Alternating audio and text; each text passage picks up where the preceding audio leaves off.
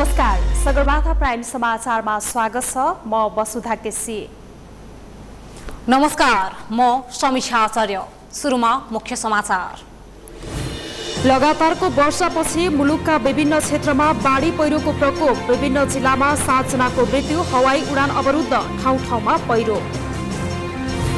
समितिमा रहने सांसदहरूबारे दलहरूले टुङ्गो लगाउन नसक्दा संसदीय समिति अझै गठन हुन सकेन। राजदूत र संवैधानिक नियुक्ति प्रभावित बहुचर्चित फास्ट ट्र्याक निर्माण विवाद सुनियो। प्रभावितहरूको मुआवजा सम्पदा संरक्षण लगायतमा विवाद।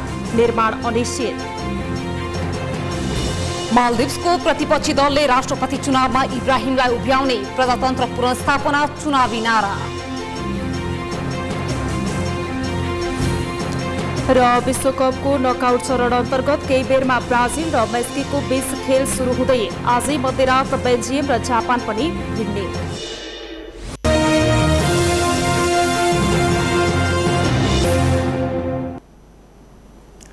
प्राइम समाचार अब विस्तारमा।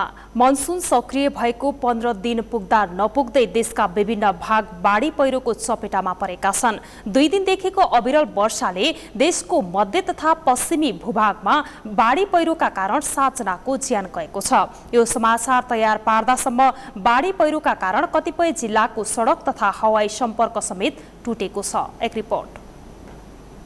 दुई दिनदेखिको झरी नरोकिएपछि देशको मध्य तथा पश्चिमी क्षेत्र बाढी तथा पहिरोको चपेटामा परेको छ। बागलुङमा पहिरोले घर पुर्दा एकै परिवारका तिनजनाको ज्यान गएको साता नपुग्दै सोमबार पहिरोले गर्दा रोल्पामा सुत्केरी सहित तिनजनाको ज्यान गएको छ। पहिरोले घर पुर्दा रुन्टीगढी गाउँपालिका बाइसकी कमला विक अठार दिनकी उनकी छोरी आयुषा र पन्ध्र वर्षीय चित्राको मृत्यु भएको प्रहरीले बताएको छ। अविरल वर्षापछिको बाढीले बाँकेमा पनि दुईजनाको मृत्यु भएको छ। प्रहरीका अनुसार बैजनाथ गाउँपालिका पाँच गरुवा गाउँका पैँतिस वर्षका लोकबहादुर सुनारको डल्लीपुर नालाले बगाउँदा ज्यान गएको छ। त्यस्तै बैजनाथपुरमै पोखरीमा डुबेर एक बालकको मृत्यु भएको छ। उनको नाम ठेगाना खुल्न सकेको छैन। त्यस्तै बैजनाथ तिनका पैँसठी वर्षका तुलाबहादुर बुढा जेठी नालामा डुबेर बेपत्ता भएका छन्। उनको खोजी कार्य भइरहेको प्रहरीले बताएको छ। यता काठमाडौँको तारकेश्वर छका प्रकाश पुरकोटीको पनि महादेवा खोलाले बगाउँदा मृत्यु भएको काठमाडौँ प्रहरीले जानकारी दिएको छ। अविरल वर्षाले गर्दा कच्ची घर भत्किँदा कैलालीको गोदावरी नगरपालिका नौकी बैसठी वर्षकी दुना राणाको मृत्यु भएको प्रहरीले बताएको छ। दुई दिनदेखिको वर्षात नरोकिँदा मुलुकका अन्य भूभागमा पनि बाढी तथा पहिरोको जोखिम बढेको छ। चितवन स्थित मुगलिन नारायणगढ सडकमा पहिरोले अवरुद्ध हुँदा समस्या भएको छ। टोपे खोला भन्ने ठाउँमा पहिरो खसेपछि मुगलिन नारायणगढ सडक खण्ड अवरुद्ध भएको थियो। अघिल्लो वर्षहरूमा पनि पहिरोका कारण पटक पटक अवरुद्ध हुँदै आएको नारायणगढ मुगलिन सडक खण्ड यो वर्ष स्तर उन्नति भइ नसक्दै पुनः अवरुद्ध भएको छ। प्रहरीले यो सडक भएर भर्सक यात्रा नगर्न र गर्न परे सतर्कता अपनाउन आग्रह गरेको छ। चितवनमा खराब मौसमले गर्दा हवाई सेवा पनि प्रभावित भएको छ। राप्ती नदीमा पनि पानीको बहाव बढेपछि सौराका व्यवसायीले सुरक्षित स्थानमा सामान सार्न थालेका छन्। अविरल वर्षाले गर्दा चितवनको माडीका अधिकांश खोलामा पानीको बहाव बढेको छ। पानीको बहाव बढेपछि माडी ठोरी सडक खण्ड पनि अवरुद्ध भएको छ। अधिकांश खोलामा पुल नभएकाले यातायात सेवासँगै आवत जावतमा पनि समस्या भएको छ। निरन्तरको वर्षाले धादिङ स्थित पृथ्वी राजमार्ग पनि अवरुद्ध भएको छ। बेनीघाट रोराङ गाउँपालिका दुई स्थानमा पहिरो खसेपछि सडक अवरुद्ध भएको प्रहरीले बताएको छ। त्यस्तै बुटोल पाल्पा सडक खण्डको माथिल्लो सिद्ध बाबा नजिक पहिरो खसेपछि सिद्ध बाबा सडक खण्ड पनि अवरुद्ध भएको छ। पाल्पाको तिनाउ गाउँपालिका तिन हेडबक्स भन्ने स्थानमा पहिरो खसेपछि सडक यातायात आवत जावत ठप्प भएको छ। जाजरकोटमा पनि अविरल वर्षापछि सञ्चार सेवा र सडक अवरुद्ध भएको छ। उता महाकाली नदीमा आएको बाढीले गर्दा नदी किनारका स्थानीय जोखिममा परेका छन्। महाकाली नदीमा आएको बाढीले गर्दा नेपाल भारत सीमा क्षेत्रमा निर्माण गरिँदै गरिएको बङ्ग बङ्गर बाँध पनि बग्ने खतरा बढेको छ। अविरल वर्षाले गर्दा बाँकेको नेपालगञ्ज पनि डुबानमा परेको छ। नेपालगञ्ज उपमहानगरपालिका सहित न्युरो र वीरेन्द्र चोक लगायत क्षेत्रमा डुबान बढेको छ। बाढीले बाँकेको राप्तीपारी नैनापुर गाउँपालिका र नेपालगञ्जको सम्पर्क टुटेको छ। त्यस्तै पर्साको वीरगञ्ज क्षेत्र पनि बाढीको चपेटामा परेको छ। वीरगञ्जमा जिल्ला प्रशासन कार्यालय पर्सामा समेत डुबान भएको छ। त्यस्तै वीरगञ्जको श्रीपुर पानीट्याङ्की नगवा रामगढवा लगायतका क्षेत्रमा पनि डुबान परेको छ। अविरल वर्षासँगै पहिरोले नुवाकोटको किमताङ साथमा सत्र परिवार विस्थापित भएका छन्।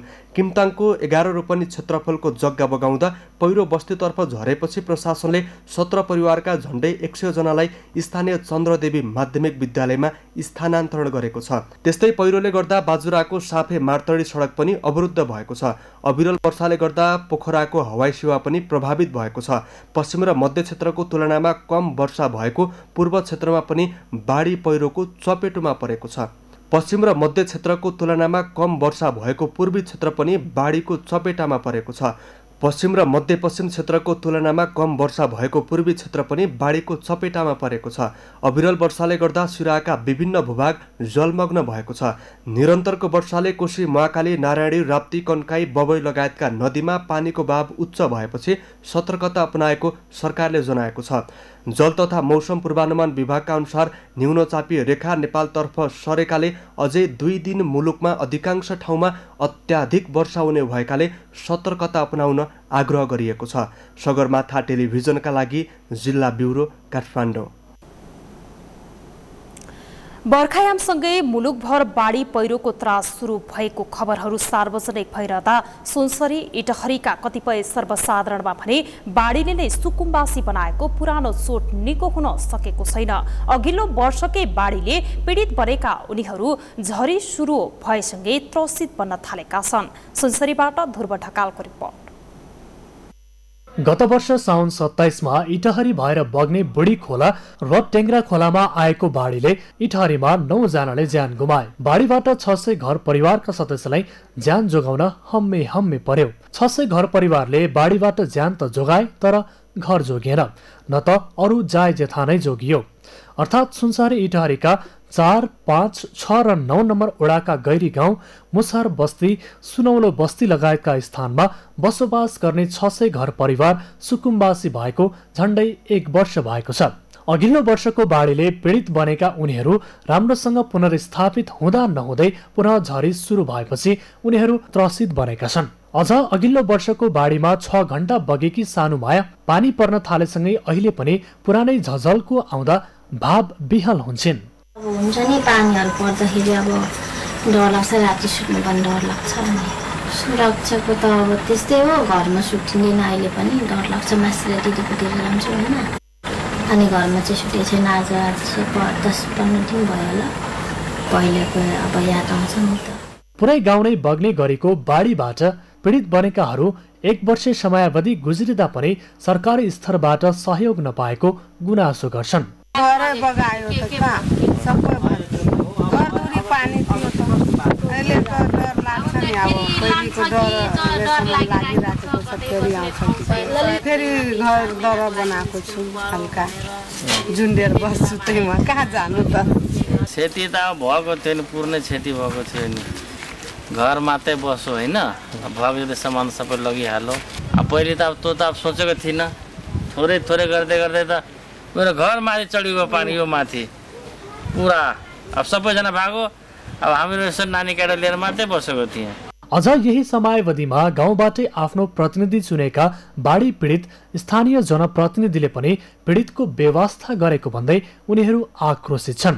अघिल्लो बाढीको पीडाबाट थङ्ग्रिन नपाउँदै झरी सुरु भएपछि पीडितहरू यो वर्ष पनि घरमा झुन्डेर बस्नुपर्ने अवस्था आएको बताउँछन्। डर त भइरहेछ नि मनमा। अब घरमा छ पाँच छजना छ घरमा पनि भाडा लिए भने अब पहिले सोध्छ नि हामीहरूलाई कतिजना छ पाँचजना छजना भनेपछि त कोठा पनि छैन भन्छ।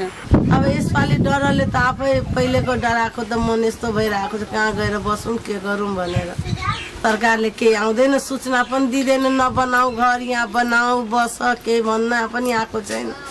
आफै मनले घर बनायो जसको जसको पैसा थियो बनायो जसको छैन त्यही बालग्रामवालाले दिएको छ पिलर बाँस त्यही बनाएर बसिरहेको छु। बाढीकै कारण नौजनाको मृत्यु एक हप्तासम्म बिजुली र सञ्चार सेवा अवरुद्ध भएपछि तत्कालीन प्रधानमन्त्री शेरबहादुर देउपाले स्थलगत अवलोकनपछि यो क्षेत्रलाई तत्काल पुनर्स्थापित गर्ने वचन समेत दिएका थिए।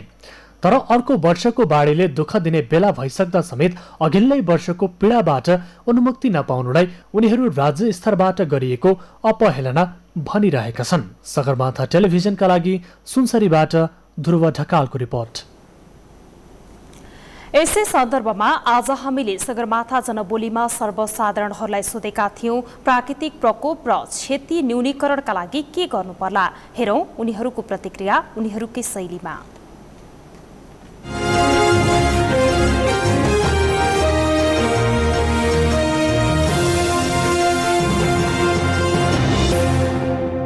बाढी पहिरो जुन नियन्त्रणको निमित्त स्थानीय सरकार प्रदेश सरकार र सङ्घीय सरकारको सबै सहयोगले चाहिँ बाढी विपद कोषबाट होस् या निजी क्षेत्र होस् सबै क्षेत्रबाट चाहिँ यसको काम हुनुपर्छ। अब यसको लागि त सर्वप्रथम पूर्व सूचना नै राम्रो हो जस्तो लाग्छ मलाई चाहिँ। पहिले नि सोचेर उडेर त्यहाँबाट मान्छेहरूले अरू ठाउँबाट राख्ने होइन? त्यो सरकारको त निगरानी हुनु पऱ्यो नि। नदीनालाहरू जस्तो अब त्यो अब भाँसिने हुन्छ होइन? त्यसमा त्यो ढुङ्गासुङ्गा के के हाल्छन् होइन? त्यस्तो त्यस्तो अरू धेरै स्टेप्सहरू छन् होइन?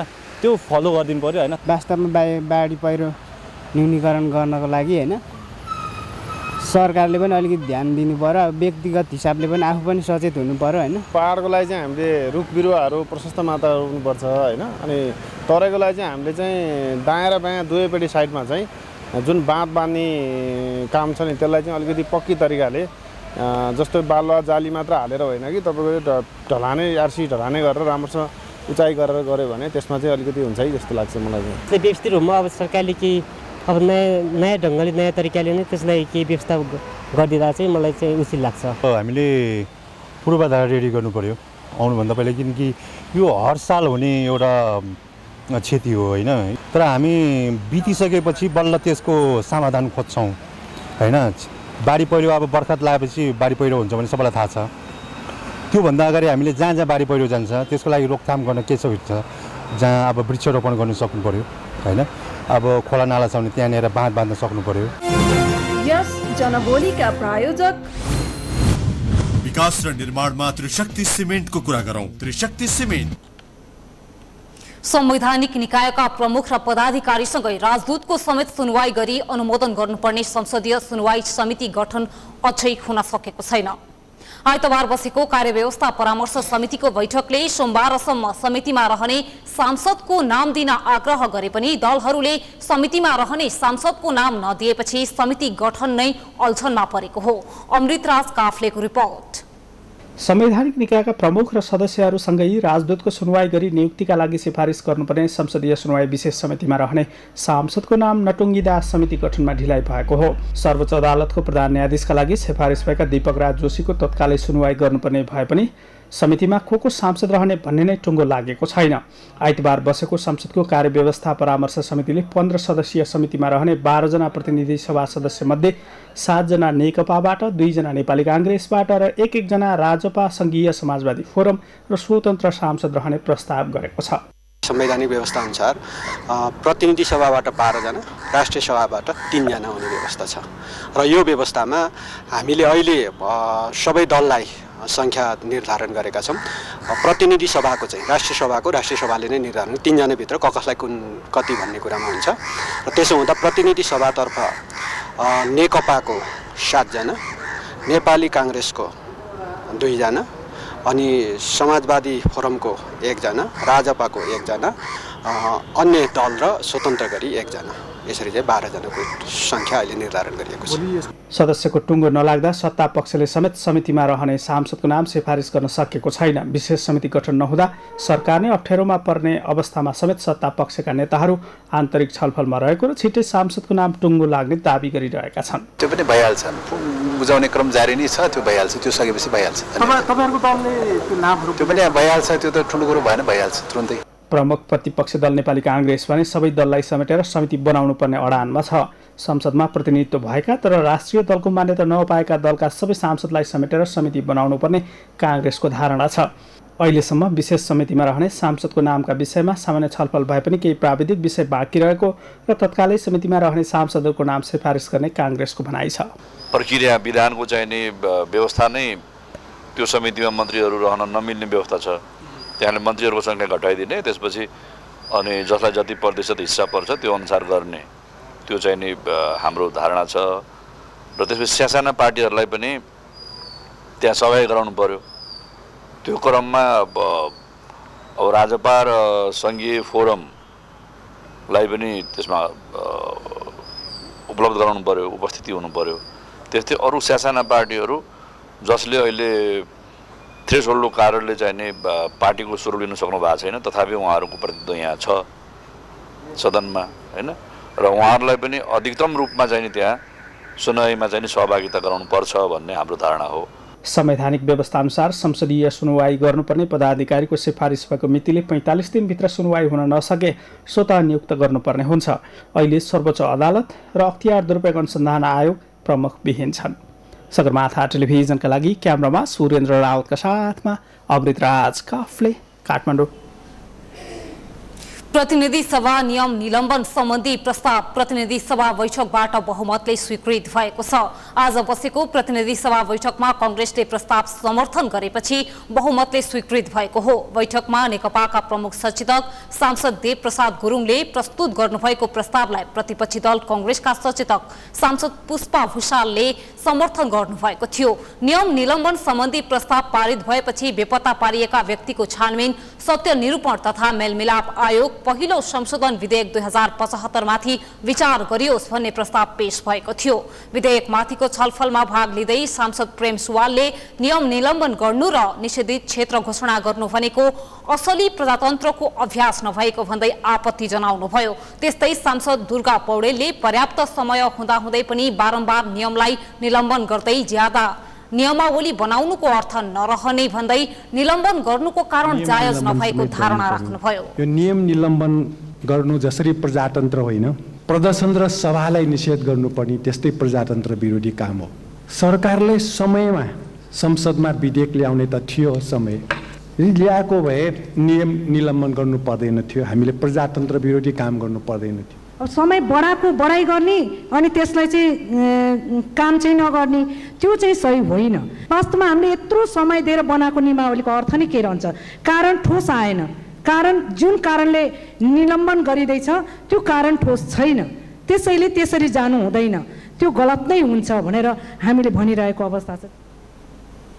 सांसदहरूको जिज्ञासाको जवाफ दिँदै कानुन न्याय तथा संसदीय मामिला मन्त्री शेरबहादुर तामाङले मुलुकमा राजनीतिक परिवर्तनका लागि भएको आन्दोलनको उपलब्धिलाई स्थायित्व प्रदान गर्ने सन्दर्भमा आयोग गठन भएको जानकारी दिनुभयो। नियम निलम्बनको विषय नमिठो भए पनि बाध्यात्मक परिस्थितिले गर्दा ल्याइएको र आगामी दिनमा सांसदहरूको भावनाको सम्मान गरिने बताउनुभयो। द्वन्द्वलाई पनि समाधान गर्ने एउटा उदाहरण बन्न सकोस्। बनेका आयोगहरूको प्रभावकारिता त्यसबाट कामको टुङ्गो लगाउनको लागि एकहत्तर सालमा सुरु भएको हाम्रो हुन त बैसठी त्रिसठी पछाडि हामी शान्ति प्रक्रियामा आयौँ। बाह्र बुँदे हुँदै आजको यो गरिमामय सदनमा हामी उपस्थित छौँ। बेपत्ता पारिएका व्यक्तिको छानबिन सत्य निरूपण तथा मेलमिलाप आयोग सम्बन्धी अध्यादेश जारी भएको साठी दिनभित्र प्रतिस्थापन गर्नुपर्ने संवैधानिक प्रावधान रहे अनुरूप नियम निलम्बनको प्रस्ताव अघि बढाइएको हो। सभामुख कृष्ण बहादुर महराले विशेष र शून्य समयमा उठेका प्रश्नको जवाफ दिनका लागि सरकारको ध्यान आकर्षण गराउनु भएको छ।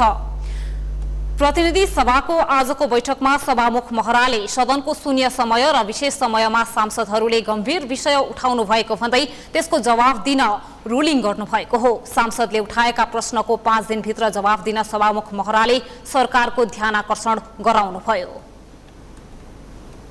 मान्य सदस्यले देशका विभिन्न घटनाक्रमसँग सम्बन्धित महत्त्वपूर्ण गम्भीर विषय उठाउनु भएको छ। तर नियमावलीको पन्ध्रको उपनियम दुईमा सम्बन्धित मन्त्रीले पाँच दिनभित्र जवाब दिने उल्लेख गरिएको छ। त्यस कारणले मैले यस विषयमा अगाडि ध्यान आकर्षण गराइ नै सकेको छु। एकपटक फेरि सरकारलाई मान्यजीहरूले गम्भीरतापूर्वक शून्य समय र विशेष समय उठाएका प्रश्नहरूको जवाब दिने विषयमा सरकारको विशेष ध्यान आकर्षण गराउन चाहन्छु। बैठकमा बेपत्ता पारिएका व्यक्तिको छानबिन सत्य निरूपण तथा मेलमिलाप आयोग पहिलो संशोधन विधेयक दुई हजार पचहत्तरका सम्बन्धमा राष्ट्रिय सभाबाट प्राप्त सन्देश सहितको विधेयक टेबल गरिएको छ।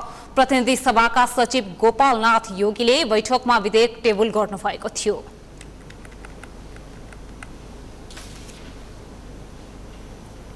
आफ्नै कार्यकाल धरापमा पर्ने भएपछि राष्ट्रिय सभाले हतार हतारमा आवश्यक कानुन पारित गरेको छ। अध्यादेशका आधारमा चुनाव भएर राष्ट्रिय सभा सदस्यको पदावधि निर्धारण भए पनि कानुन अभावका कारण असार एक्काइस गतेदेखि राष्ट्रिय सभा नै नरहने अवस्था आएपछि नियम निलम्बन गरेर कानुन पारित गरिएको हो। अमृतराज काफ्लेको रिपोर्ट। दुई महिना अघि वर्तमान सरकारले जारी गरेको अध्यादेशका आधारमा चुनाव भएर गठन भएको राष्ट्रिय सभा निर्वाचन विधेयक दुई हजार पचहत्तर सोमबार मात्रै पारित भएको छ। सोमबारको बैठकमा अध्यादेश प्रतिस्थापन विधेयकमाथि काम चलाउ छलफल सकेर पारित गरिएको हो।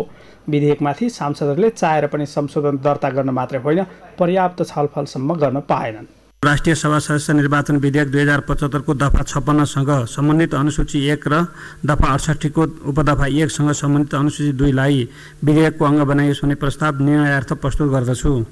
यो प्रस्तावको पक्षमा हुने मान्य सदस्यहरूले हुन्छ भन्नुहोला र यसको विपक्षमा हुने मान्य सदस्यहरूले हुन्न भन्नुहोला। यो प्रस्तावको पक्षमा हुने मान्य सदस्यहरूले हुन्छ भन्नुहोस्। यो प्रस्तावको विपक्षमा हुने मान्य सदस्यहरूले हुन्न भन्नुहोस्। हुन्न भन्ने आवाज सुनिएन। तसर्थ राष्ट्रिय सभा सदस्य निर्वाचन विधेयक दुई हजार पचहत्तरको दफा छप्पन्नसँग सम्बन्धित अनुसूची एक र दफा अडसट्ठीको उपदफा एकसँग सम्बन्धित अनुसूची दुईलाई विधेयकको अङ्ग बनाइयोस् भन्ने प्रस्ताव सर्वसम्मतिले पारित भएको घोषणा गर्दछु। अध्यादेश जारी गरेको साठी दिनभित्र प्रतिस्थापन विधेयक संसदबाट पारित नभए अध्यादेश स्वतः निष्क्रिय हुने संवैधानिक व्यवस्था छ। संसद बैठक चलिरहेको समयमा अर्को अध्यादेश जारी गर्न समेत नमिल्ने व्यवस्थाका कारण विधेयक संसदबाटै पारित गर्न सरकार बाध्य भएको हो। आगामी एक्काइस गतेभित्र कानुन पारित नभए अध्यादेश स्वतः निष्क्रिय हुने र राष्ट्रिय सभा समेत नरहने भएपछि सरकारले हतार हतार विधेयक संसदमा पेश गरेको थियो। संसद सञ्चालन नियमावलीको धारा एक सय एघारमा उल्लेखित व्यवस्था नै निलम्बन गरेर छिटो विधेयक पारित गरिए पनि सांसदहरू भने सरकारको कार्यशैलीप्रति रुष्ट छन्। सरकारको कमजोरी स्वाभाविक हो। मन्त्रीहरूको लापरवाही हो कि? जुनसुकै विधेयक अध्यादेश पनि सदन चलेको मितिले साठी दिनभित्र सो अध्यादेशलाई प्रतिस्थापन गरेर नयाँ विधेयक पारित गर्नुपर्छ वा त्यस्तो गरेन भने सो अध्यादेश स्वत निष्क्रिय हुन्छ। त यस्तो काममा चाहिँ नि यो उद्घाटन गर्न हिँड्ने मन्त्रीहरू जुन छन् बिना कामको चाहिँ उद्घाटन छुट्टै मन्त्री राख्यो भने बरु एउटा मन्त्रालय नै बनाएर। त्यस कारणले यो बडो लज्जास्पद र लापरवाही हो।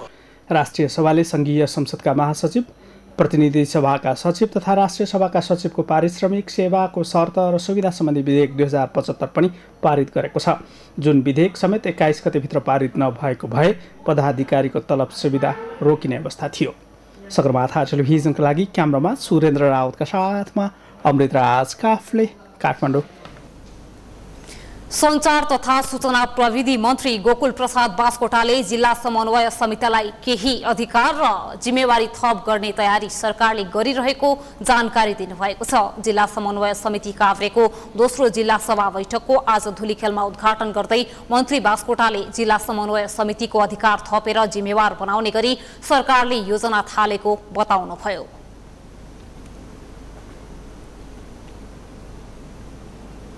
सञ्चार तथा सूचना प्रविधि मन्त्रालयले स्थानीय तहहरूलाई चाहिने सेवा खास गरिकन नागरिकसित जोडिने टेम्प्लेटको विकास गरिसकेको छ र यो सेवा हामी उपलब्ध गराउँ सरकारले निशुल्क रूपमा स्थानीय तहमा सूचनाको एप सञ्चालनमा ल्याउने तयारी गरिरहेको जानकारी मन्त्री बास्कोटाले दिनुभयो समाचारमा एकैछिन विश्राम। विश्रामपछि बहुचर्चित फास्ट ट्र्याक निर्माण विवाद चुलियो। प्रभावितहरूको मुआवजा सम्पदा संरक्षण लगायतमा विवाद निर्माण अनिश्चित। काठमाडौँमा बरामद छ किलो सुनको मालिक अझै पत्ता लागेन। चीनबाट भारत पुर्याउने योजना साथ तस्करी गरेको पाइएको प्रहरीको भनाई। र गत वर्षभन्दा चालु दस महिनामा सडक दुर्घटना वात्तै बढ्यो। पाँच हजार चार सय एघारवटा दुर्घटना चालकको लापरवाही मुख्य कारण।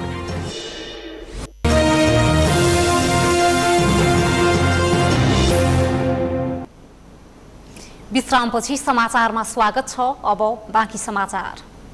काठमाडौँ निजगढ द्रुत मार्ग निर्माणमा अनेकौँ विवाद चुलिएको छ। प्रभावितहरूको मुआब्जा सांस्कृतिक सम्पदा संरक्षणका लागि भएको आन्दोलन काठमाडौँतर्फको प्रस्थान बिन्दु लगायतका विवादले फास्ट ट्र्याक निर्माण अनिश्चित अनिश्चयमा फसेको हो। शिखा श्रेष्ठको रिपोर्ट उपत्यकालाई सिधै तराईसँग जोड्ने राष्ट्रिय गौरवको काठमाडौँ निजगढ द्रुत मार्गमा प्रभावितहरूको मुआब्जा विवादमा पछिल्लो समय काठमाडौँतर्फको प्रस्थान बिन्दु र सांस्कृतिक सम्पदा संरक्षणका विषय समेत थपिएपछि फास्ट ट्र्याक निर्माण अनिश्चयमा फँसेको छ। एसियाली विकास बैङ्कले गरेको सम्भाव्यता अध्ययन प्रतिवेदनमा राजमार्गका लागि रेखाङ्कन गरिएका क्षेत्रमा सिकाली मन्दिर हरेपछि स्थानीयको विरोध र अवरोध कायमै छ। जहाँ मत्स्येन्द्रनाथ लगायतका पच्चिसवटा गुठीका जग्गाको विषय पनि टुङ्गिएको छैन। अर्कोतर्फ फास्ट ट्र्याकसँगै बागमती करिडोर एक सय तेत्तिस केबी प्रसारण लाइन र बाहिरी चक्रपथको बिन्दु पनि खोकना फाटमै परेपछि फास्ट ट्र्याक विवाद अझ उत्कर्षमा पुगेको छ। समस्या यति मात्र होइन फास्ट ट्र्याक प्रभावित ललितपुरका खोकना र फर्सीडोलका तेह्र सय परिवारमध्ये करिब पैँतिस परिवारको सबै जग्गाको मुआब्जा विवाद पनि यथावत छ। हेपेरै पेलेरै चाहिँ उनी उनीहरू चाहिँ यतातिर आइरहेको छन्। अहिले तपाईँहरू यो डोजरहरू देखिरहनु भएको छ। हामीले बारम्बार रोकेको बावजुद पनि डोजर चलिरहेकै अवस्थामा छ। यो पचास मिटर बाहेक पनि अझ सेट ब्याक भनेर चाहिँ जुन पच्चिस पच्चिस मिटर दायाँ बायाँको कुरा पनि आइरहेको छ यसबाट पनि हामी स्थानीय मान्छेहरू चाहिँ धेरै नै पीडित हुन्छौँ। मुआवजा चलन अनुसार होइन उहाँहरूले चाहिँ सरकारी दर रेटमा दिइराख्नु भएको छ होइन जसले गर्दाखेरि चाहिँ हामी एकदम मार्गमा पर्छौँ।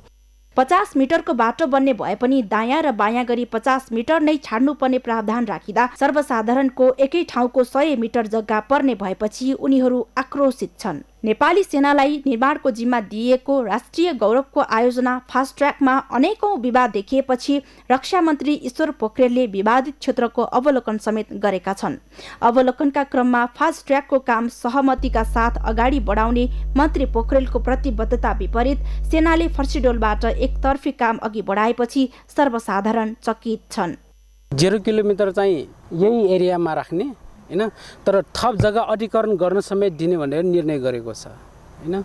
अब यहाँबाट जितेर जाने पम्फा भुषाल सांसदले चाहिँ यो जग्गा अधिकरण गर्ने भनेर निर्णय गर्ने अधिकार उहाँसँग छ कि छैन? नम्बर वान त्यो हो भने। अर्को कुरा यहाँबाट विरोध भइसकेपछि फेरि बुङमतीको चाहिँ फर्सी डोलमा पनि जिरो किलोमिटर राख्ने भनेर त्यहाँ पनि अर्को एउटा चाहिँ निर्णय गरिसकेको अवस्था छ। खोकनावासी र फास्ट ट्र्याक निर्माणको जिम्मा पाएको नेपाली सेनाबीच द्वन्द्व बढेपछि यो विषय संसदमा समेत प्रवेश गरेको छ। ललितपुर क्षेत्र नम्बर तिनका सांसद पम्फा भूषालले काठमाडौँ निजगढ द्रुत मार्गमा भएको मुआब्जा लगायतका विवाद मिलाएर मात्र काम अगाडि बढाउन सांसद मार्फत सरकारको ध्यान आकर्षण गराएकी छन्। किसानले आफ्ना बाँकी खेतमा धान रोप्न पनि नपाउने कुरा भएको छ। त्यसैले सभामुख महोदय म नेपाल सरकारको गम्भीरतापूर्वक जनप्रतिनिधि सहितको सहमतिको योजना अनुसार fast track outer ring road बनाइयोस् जनताको उचित क्षतिपूर्ति दियोस्।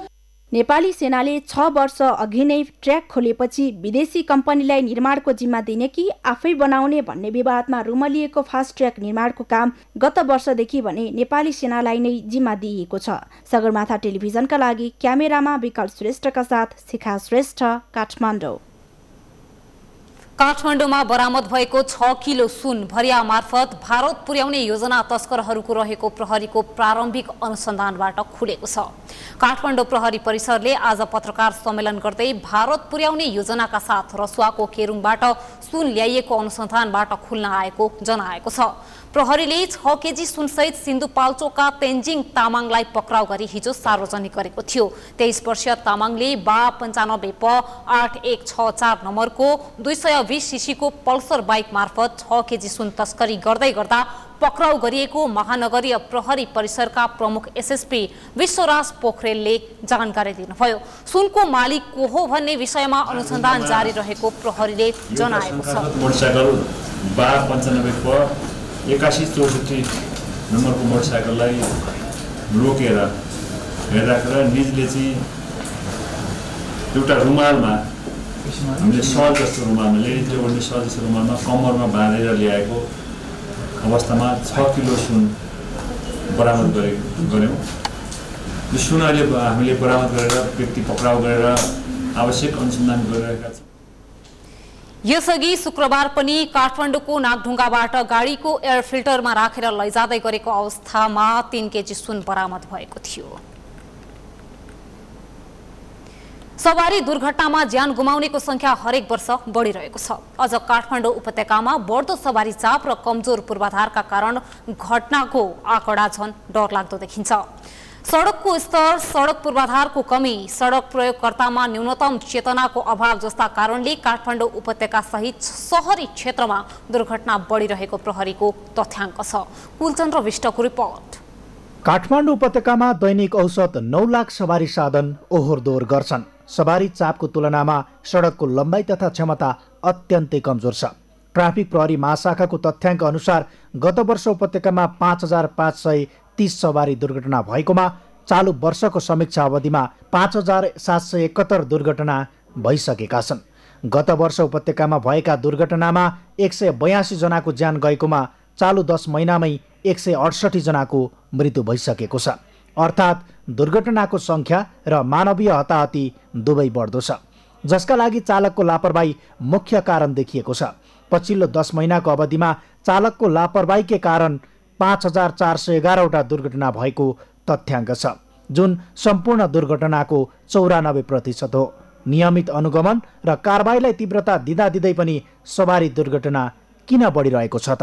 तिनीहरूका कम्पनी मालिकहरूले पनि अब तिनीहरूको चाहिँ घर परिवारमा के भइरहेको छ एक्लैले त्यो सवारी साधन चलाइरहँदा के इम्प्याक्ट परिरहेको छ त्यसलाई चेन्ज गर्ने हो कि होइन त्यसको मानसिकतामा के असर परिरहेको छ अब त्यसलाई त्यसमा ओभर कन्फिडेन्ट भयो या त्यसलाई ओनर्सहरूले पनि त्यसलाई चाहिँ केही चाहिँ आर्थिक स्थितिको कुरा या चाहिँ उसलाई मोरल हायो भने बुस्ट बुस्टअप गर्ने कुरा नगरेको हो कि? त्यस कारणले हाम्रो सम्बन्ध सबै पक्षले गर्नुपर्छ।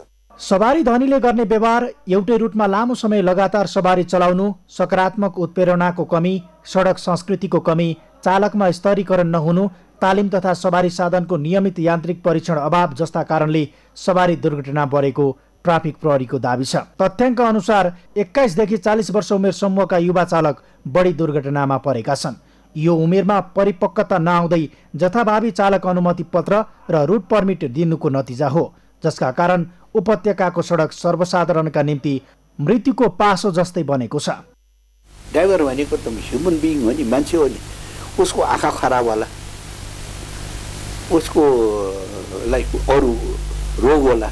सबैलाई जस्तो केही रोग होला जसले गर्दा ऊ हाँक्नुलाई उसलाई समस्या हुन्छ चालक गफ गर्ने चालक अझ अहिले त चालकको के छ भने मोटर त्यो मोबाइल कारमा हाँकेर हाँसेर हाँकिरहेको छ ऊ डिस्ट्राक्सन हो नि तथ्याङ्क अनुसार विश्वमा सडक दुर्घटना मानवीय क्षतिको सबैभन्दा ठुलो समस्या बनिरहेको छ। अहिले विश्वमा वर्षेनी तेह्र लाखभन्दा बढी नागरिकको दुर्घटनामा ज्यान गइरहेकोमा धेरै हिस्सा बालबालिकाको र त्यसमा पनि नेपाल जस्ता विकास उन्मुख देशका नागरिकको छ। यसमा चालकको लापरवाही भरपर्दो सडक पूर्वाधारको अभाव आलो काँचो उमेरका चालक मापदण्ड विपरीतका सवारी साधन र सडक प्रयोगकर्ताको लापरवाही सबै कारण उत्ति नै जिम्मेवार ठानिएको छ। दिनौँ सामान्य बन्न थालेका दुर्घटना र मानवीय क्षतिका समाचार न्यूनीकरणका लागि चालक तथा राज्य दुवै पक्ष उत्ति नै जिम्मेवार बन्नुपर्छ। सगरमाथा टेलिभिजनका लागि क्यामेरामा आशिष पोडा सैनिकका साथमा कुलचन्द्र विष्ट काठमाडौँ। असार लागेसँगै बागलुङ नगरपालिका भित्रका सडक कालोपत्रे गर्न थालिएको छ। असार मसान्तभित्र बजेट सक्नुपर्ने भएपछि बागलुङ नगरपालिकाले बागलुङ नगरपालिका भित्रका कच्ची सडकमा धमाधम कालोपत्री थालेको हो। बागलुङ नगर खानेपानी तथा सरसफाई उपभोक्ता समितिले बजार क्षेत्रभित्र खानेपानी ल्याउने क्रममा खनिएको सडक पनि वर्षातसँगै मर्मत थालेको छ। सदरमुकामदेखि सिगाना जोड्ने सडक अन्तर्गत बागलुङ नगरपालिका तीन गहतेमा कालोपत्री गर्ने काम भएको हो। श्रम रोजगार तथा सामाजिक सुरक्षा मन्त्रालयले वैदेशिक रोजगारबाट फर्किएर नेपालमा नै उद्यम गरेर बसेका आठजनालाई सम्मान गरेको छ। मन्त्रालयले सिंहदरबारमा आज विशेष कार्यक्रम गरी विभिन्न क्षेत्रका आठ व्यक्तिहरूलाई पुरस्कृत गरेको हो। आठजना मध्ये सोनाम लामालाई सर्वोत्कृष्ट घोषित गरिएको मन्त्रालयले जनाएको छ। मन्त्रालयले लामालाई एक लाख रुपियाँ प्रदान गरेको छ। दुबई र इजरायल बसेर फर्कनु भएका लामाले सोह्र करोड लगानीमा एकीकृत कृषि फार्म सञ्चालन गर्नुभएको छ। यस्तै उत्कृष्ट हुनेहरूमा देवी प्रसाद खत्री बागलुङ हरि लुइटेल खोटाङ खोगराज कटुवाल कलङ्की काठमाडौँ गणेशपुन मगर पर्वत प्रेम प्रसाद लामिछाने बर्दिया द्रोण प्रसाद नेउपाने रूपन्देही र रामदिपायल थारू बर्दिया रहेका छन्। उनीहरूले जनै पचास पचास हजार रुपियाँ प्राप्त गरेका छन्। कार्यक्रममा श्रम मन्त्री गोकर्ण विष्टले वैदेशिक रोजगारका क्रममा सिकेका सिपको उपयोग गरी स्वदेशमा उद्यम गर्नु र रोजगारी सिर्जना गर्नु राष्ट्रका लागि सकारात्मक भएको धारणा राख्नुभयो। वैदेशिक रोजगारबाट फर्किएर नेपालमा उद्यम गरेर बसेकाहरूलाई विभिन्न आधारमा अङ्क प्रदान गरी उत्कृष्ट आठजनालाई छनौट गरिएको मन्त्रालयले जनाएको छ। दुई हजार बहत्तर वैशाखको विनाशकारी भूकम्प अघिसम्म पाठकले खचाखच हुने केशर पुस्तकालय अहिले पाठकविहीन बन्दै गएको छ। एक सय उन्नाइस वर्ष पुरानो यो पुस्तकालयको भवन भूकम्पले चिरा चिरा बनाएपछि पाठकहरू जोखिमयुक्त भवनमा जान छाडेका हुन्। जसका कारण केशर पुस्तकालय अहिले पाठकको पर्खाइमा छ। गीताञ्जली अधिकारीको रिपोर्ट। एक सय उन्नाइस वर्ष इतिहास बोकेको केशर पुस्तकालयको यो दृश्य मान्छे बिनाको घर जस्तो देखिन्छ। अर्थात् दुई हजार बहत्तर वैशाख बाह्रको भूकम्पपछि पुस्तकालयको भवन चर्किएर जीर्ण बनेसँगै यो पुस्तकालय पाठकविहीन बनेको हो। भूकम्पले पुस्तकालय भवन चिरा चिरा बनाएपछि पाठकहरू जोखिमयुक्त भवनमा जानै छाडेका छन्। जानेहरूलाई पनि भवन भत्किएला भन्ने त्रासले सताउने गरेको छ। यसै कारण उनीहरू पुस्तक लिएर खाली मैदानको खोजीमा हिँड्ने गरेका छन्। नयाँ नयाँ पब्लिस भएको बुकहरू हुन्छ नि त्यो चाहिँ एभाइलेबल छैन यहाँ। अरू लाइब्रेरीहरूसँग कम्पेयर गर्दाखेरि चाहिँ यहाँ चाहिँ बुक्सको नम्बरहरू चाहिँ धेरै छ। बुकहरूको म्यानेजमेन्ट चाहिँ राम्ररी राम्रो छैन जस्तो लाग्छ किनभने इङ्ग्लिस र नेपाली बुकहरू लाइक लिस्ट अनुसार छुट्टा रहेको छैन लाइक जताभावी रहेको छ होइन हामीलाई छान्दाखेरि चाहिँ अलिकति समस्या हुन्छ। यो बहत्तर सालको भुइँचालोपछि यहाँ चाहिँ अलि सबै लाइब्रेरी व्यवस्थापन त्यति गर्न सकिरहेको अवस्था छैन है। धेरै वर्ष भइसक्यो लाइब्रेरी व्यवस्थित भएको छैन। अहिले खोज्न लागेको बुकहरू एउटा पनि व्यवस्थित भएर मिलाएको चाहिँ देखिँदैन पाइँदैन कि? पुस्तकालयमा जोखिमयुक्त भवनको मात्र त्रास छैन। भूकम्प अघिसम्म देखिने कतिपय तस्बिर तथा पुस्तकहरू पनि हराएका छन्। स्थापना कालमा पाँच लाखको हाराहारीमा रहेको पुस्तक अहिले साठी हजारमा सीमित भएका छन्। अवलोकनकर्ताको आकर्षण बन्ने गरेको राणाहरूको शिकार गरेका वन्यजन्तुका टाउका एक हजार वर्ष पुराना हस्तलिखित ग्रन्थ राणा शासनको वैभव देखाउने सयौं फोटोहरू पुस्तकालयमा छैनन्। कतिपय पुस्तक र तस्बिर भने ठाउँ अभावमा बोरामा थन्किएको छ। भूकम्प गएको तीन वर्ष बित्दा पनि यसको जीर्णोद्धारमा ध्यान दिन नसक्दा निम्तिएको कैयौं समस्याले पाठकको आकर्षणलाई घटाइरहेको छ। यी र यस्तै कारण पुस्तकालय भूकम्प अघिकै जस्तो अवस्थामा पुग्ला भन्नेमा कर्मचारीहरू पनि विश्वस्त देखिँदैनन्। दुई हजार बहत्तर सालको भूकम्प पछि चाहिँ कमी आएको हो। तर जति बढ्नुपर्ने जुन अपेक्षामा बढ्नुपर्ने पाठकहरूको जुन मागलाई सम्बोधन हामीले गर्नुपर्थ्यो त्यो त्यो चाहिँ पक्कै पनि गर्न सकेको छैन। र त्यो गर्नु नसकेको कारणमा हाम्रो अन्य कुनै कारण पनि होइन। हामीसँग एउटा एउटा मात्रै एउटा समस्या के हामीसँग ठाउँको अभाव भएर तत्कालीन राणा शासक जुद्ध शमशेरले आफ्नो साइला छोरा केशर शमशेरको सम्झनामा निर्माण गरेको यो पुस्तकालयमा भूकम्प अघिसम्म दैनिक तीन सय जनासम्म पाठक पुग्ने गरेको लगत भेटिएको छ। भूकम्पपछि जर्जर अवस्थामा पुगेको भवनलाई बेलैमा पुनर्निर्माण नगरिँदा दैनिक चालिस पचास जना पाठकको केन्द्र बनेको यो पुस्तकालय सरकारी उपहासको केन्द्र जस्तो भएको छ। सगरमाथा टेलिभिजनका लागि क्यामेरामा आशिष पुडासैनीको साथमा गीताञ्जली अधिकारी काठमाडौँ। उत्तरी धादिङको नेत्रावती गाउँपालिकामा भूकम्पबाट भत्किएका दुई विद्यालय भवन विद्यालयलाई हस्तान्तरण गरिएको छ। विद्यालय भवन तयार भएसँगै भूकम्प पश्चात लामो समय टहरामा अध्ययन अध्ययन गरिरहेका उत्तरी धादिङका बालबालिकाहरू विद्यालयका छानामुनि बसेर पढ्न पाउने भएका हुन्। चारकोठे पक्की भवनहरूमा सुविधा सम्पन्न कक्षा कोठा सहितका बेन्च डेस्क र रहेको छ। करिब एक करोड पाँच लाखको आर्थिक सहयोगमा निर्माण सम्पन्न दुईवटै भवनहरू सुविधा सम्पन्न रहेका छन्। नेत्रावती गाउँपालिकामा भूकम्पले क्षति पुर्याएका नब्बे प्रतिशत विद्यालय भवनहरू निर्माण सम्पन्न भइसकेका छन्। समाचारमा पुनः एकैछिन विश्राम। विश्रामपछि प्रतिपक्षी दलले राष्ट्रपति चुनावमा इब्राहिमलाई उभ्यायो। प्रजातन्त्र पुनर्स्थापनामा चुनावी नारा। र विश्वकपको नकआउट चरण अन्तर्गत ब्राजिल र मेस्कीको बीचको खेल सुरु आजै मध्यरात बेल्जियम र जापान पनि भिड्ने। अब मौसम सम्बन्धी जानकारी। यस मौसम समाचारका प्रायोजक।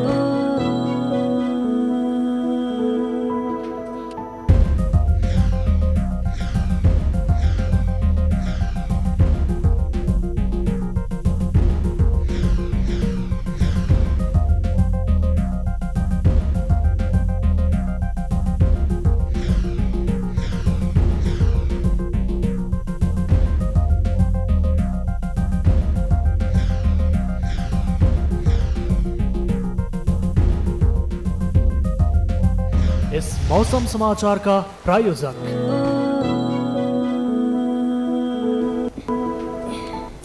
यो सँगै हामी प्राइम समाचारको अन्त्यमा छौँ। अन्त्यमा मुख्य समाचार फेरि एकपटक। लगातारको वर्षापछि मुलुकका विभिन्न क्षेत्रमा बाढी पहिरोको प्रकोप विभिन्न जिल्लामा सातजनाको मृत्यु हवाई उडान अवरुद्ध ठाउँ ठाउँमा पहिरो। समितिमा रहने सांसदहरूबारे दलहरूले टुङ्गो लगाउन नसक्दा संसदीय समिति अझै गठन हुन सकेन। राजदूत र संवैधानिक नियुक्ति प्रभावित। बहुचर्चित फास्ट्याग निर्माण विवाद सुलियो प्रभावितहरूको मुआवजा सम्पदा संरक्षण लगायतमा विवाद निर्माण अनिश्चित। मालदिप्सको प्रतिपक्षी दलले राष्ट्रपति चुनावमा इब्राहिमलाई उभ्याउने प्रजातन्त्र पुनर्स्थापना चुनावी नारा। र विश्वकपको नकआउट चरण अन्तर्गत ब्राजिल र मेस्कीको बीचको खेल जारी। आजै मध्यरात बेल्जियम र जापान पनि भिड्ने। हवस् त सगरमाथा प्राइम समाचार अहिलेलाई सकियो। तपाईँ समाचार बुलेटिनका साथै सगरमाथा टेलिभिजनका सम्पूर्ण कार्यक्रम डब्लु डट सगरमाथा डट टिभीमा पनि पढ्न र हेर्न सक्नुहुनेछ। साथै युट्युबमा YouTube dot com Sagarmatha TV नेपालमा हेर्न सक्नुहुनेछ। मोबाइलमा प्ले स्टोर तथा एप स्टोरमा गई सगरमाथा टिभी एप डाउनलोड गरी हामीलाई प्रत्यक्ष हेर्न सक्नुहुनेछ। साथै तपाईँ हामीलाई फेसबुकमा पनि Facebook dot com slash STV नेपालमा फलो गर्न सक्नुहुनेछ। समाचारको शिखर नेपालको गौरव नेपालको पहिलो न्युज च्यानल सगरमाथा टेलिभिजन हेर्दै गर्नुहोला। नमस्कार। नमस्कार।